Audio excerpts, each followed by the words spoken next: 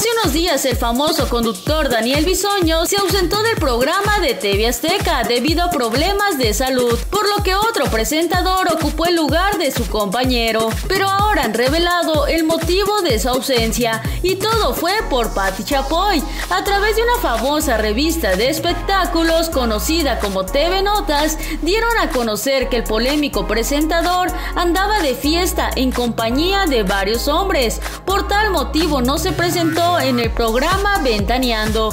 Esto causó el enojo de la titular del proyecto de la televisión.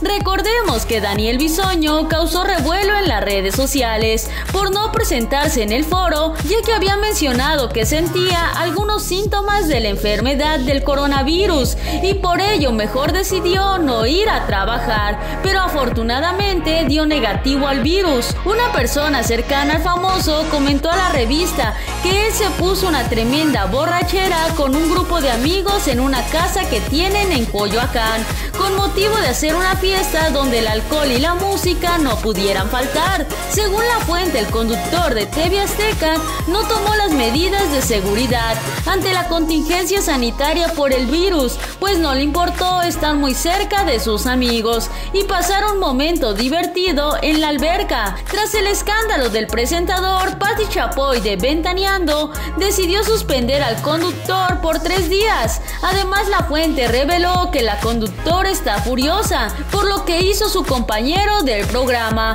por la supuesta enfermedad que tenía. Y es que la famosa revista compartió incluso la fotografía evidenciando a Daniel Bisoño que andaba disfrutando de un día caluroso en la alberca.